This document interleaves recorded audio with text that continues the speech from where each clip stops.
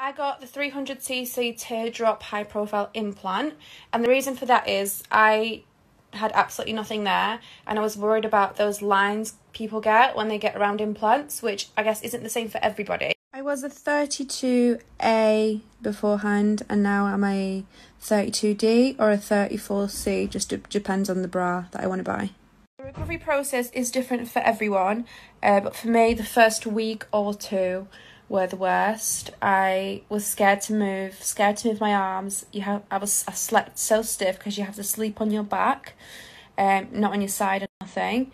Um, I didn't have a shower for like a week you get like you just feel tight and you can kind of feel the, the implant in your chest if that makes any sense i got it under the muscle as well so that i guess that hurts a bit more uh, a lot of sharp pains especially in this boob it's all good now though uh, but it's definitely worth it so the doctors say you need to wait uh, six weeks to fully recover you know you can't do like you can't go to the gym have sex um, or anything strenuous like that for six weeks but uh, I'm I had my ten weeks ago, and I think about four weeks in, I felt like I, I didn't feel any pain or anything.